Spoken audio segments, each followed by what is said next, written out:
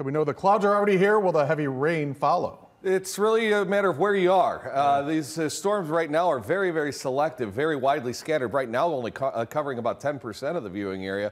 although there's a thought that they could become a little more widespread as we move forward here in the next few hours' time. So far, though, here in the Rockford Metro proper, we're okay. Let's take you out for a live look at our uh, Eldridge Roofing River Cam, where skies are overcast for the time being, but we've managed to stay dry at least in the city of Rockford proper. Uh, temperatures today have worked into the middle and upper 70s across the region.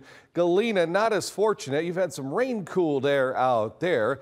Uh, it's 64 degrees right now. Notice the dew points have swollen, so these thunderstorms have plenty of fuel to draw uh, to tap into. And so as long as we can uh, keep this unstable environment in place here between now and sunset, storms are a candidate to form really at any particular point in time. Winds out of the south continue to fuel these uh, thunderstorms and support that uh, moisture-rich uh, environment that have allowed storms to blossom here in short order. We've heard from our colleagues at the National Weather Service regarding the storm that has recently developed in the past 20 minutes or so uh, in Lee County. It's not suspected to be severe. It, it is capable of producing some small hail. That's the only storm in progress in our immediate viewing area, but we've got our eyes on storms that had a history of being severe down toward LaSalle, Peru, a nasty storm just to the west of Peoria, and a real nasty one southwest of Peoria. That one has a history of producing golf ball size hail and is continuing to be a significant hail producer. Now, this, fear not, is not an immediate candidate to enter our area. We would probably be talking about two and a half, three hours until it would even get into our southernmost reaches. And by that point in time, it's likely that will have weakened. But the wider view is showing a much more expansive shield of showers. That's going to be what's more likely for the entire area later on tonight uh, and early uh, into our Friday morning. That probably won't produce severe weather, but it's possible it could produce some locally heavy rainfall. Now, our timecast model, the high resolution version of it, does suggest that showers and storms may pulse up here for the next couple of hours. Once the sun sets, though,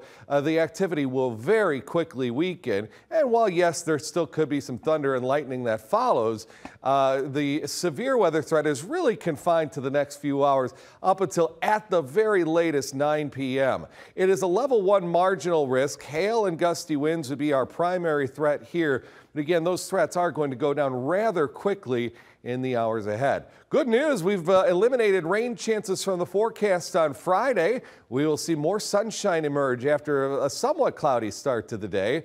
Saturday looks to get off uh, to a fine start. There is a possibility that late in the afternoon or at night, some scattered showers and storms may attempt to blossom.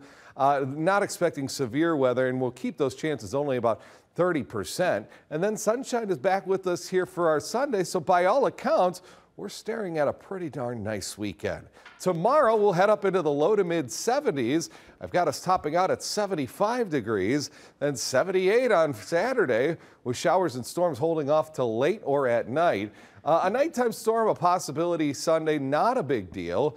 71 our Sunday high. Then we've got a first alert now for Monday and Tuesday. Initially, it was just for Tuesday. Now it looks like these storms may arrive here uh, late uh, Monday night and could produce some heavy rain. As far as the severe weather threat goes, uh, Tuesday's a day to watch out for here, and we'll continue to monitor that. Of course, our immediate term fo uh, focus, though, is on the storms that could occur in these next couple of hours, and we'll do just that. All right, thank you, Mark. Looking short term and long term. Mm -hmm. Thank you, Mark.